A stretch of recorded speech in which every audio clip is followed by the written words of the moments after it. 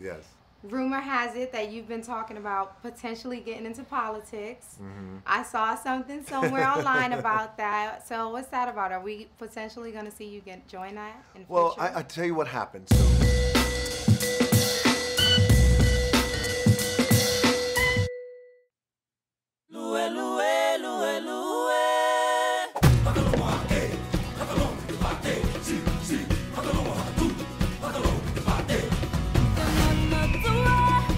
With Disney's Moana, we're showcasing the Pacific Islands on screen in a really fantastic way.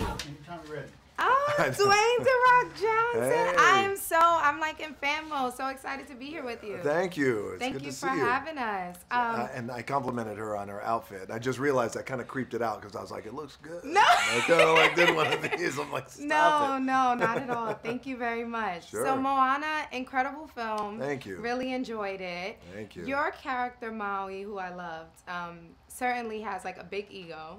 Yeah. And I think many Yeah. people can relate to that because we often have to check ourselves. Yes. Yeah. So, who in your life holds you accountable for your ego? the women in my life, easily. My 15 year old daughter Mm-hmm. holds me accountable. Um, The baby. the baby. Not yet. That's what they do, you know. It's it's but it but it's really it's it's all the women. It's definitely all the women in my life who hold me accountable and who check me, and that's the that's what I really love and appreciate. Because you know, our, sometimes our world can get it gets crazy and it's nonstop, and there's a there's enough, especially in my world. There's a, there's enough yeses that can that happen around every corner. Uh, and every need is met, right? Because we all hear all these crazy stories, but it's always really nice. Because I, and I keep the the ones who feel comfortable to check me and say no that ain't gonna happen or no don't do that or no that's just dumb keep them very close Good. What I really loved is your character, the tattoos, Mm-hmm. the stories that were kind of told throughout the tattoos. And I know Mm-hmm. you personally have a lot of them. So, if your tattoos could talk, which one would tell the most important or interesting story? It would be this one uh, that is all on the left side of my body my chest Are we gonna get the rock to take his shirt off? No, I'm joking. hey no, I'm joking. it's yes it's like this one Yes. and here is uh, i would say that because it's a it's polynesian tattoo and, it, and it's um, in our culture i'm half black and half samoan so in polynesian culture uh, it's a rite of passage and so this tells a story of my life and eh, i got it at a time where I where i was going through a lot as oftentimes right sometimes you know we we all go through a lot of things and um, total three or four sessions, total 60 hours. So it was a very long time. And, um, and probably the biggest message of this whole tattoo that tells the story of my life is, um, is what we have in Polynesian culture. We have a word called mana, which means power and spirit.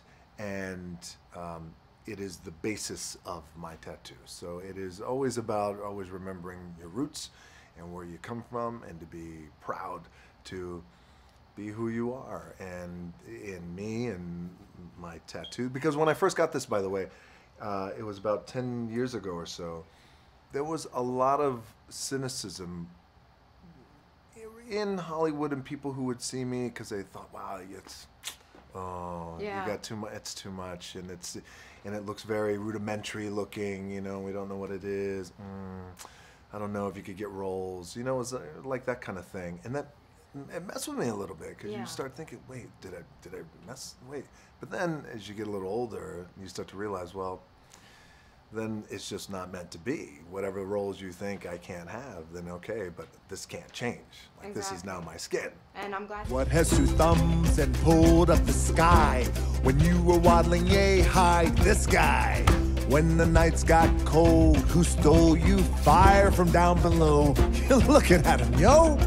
Oh, also I lassoed the sun. You're welcome to stretch your days and bring you fun. Also, I harness the breeze. You're welcome to fill your sails and shake your trees. So, what can I say except you're welcome for the islands I pulled from the sea? There's no need to pray, it's okay. You're welcome. Ha, I guess it's just my way of being me. You're welcome. You're welcome. glad to see that that didn't hold you back. Now I have to ask just Yes. Rumor has it that you've been talking about potentially getting into politics. Mm-hmm. I saw something somewhere online about that. So what's that about? Are we potentially going to see you get join that in Well. I, I tell you what happened. So, especially over the course of the last 12, 12 months, is with the election, and as the election ramped up, there was so much dialogue that started to happen with fans about, we would love for you to run. You'd make a great president. And so I appreciated that, and I didn't.